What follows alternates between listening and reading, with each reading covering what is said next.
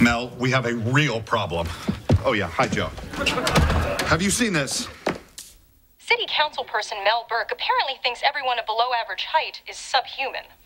I was tweeting Mel Burke about her campaign. After all, I'm just a constituent interacting with a woman who claims she wants to represent me. And she called me a little troll. Why would you call him that? It's just an expression for jerks on the internet. I can't believe he's making a big deal about this. I don't want to make a big deal about it. But words hurt.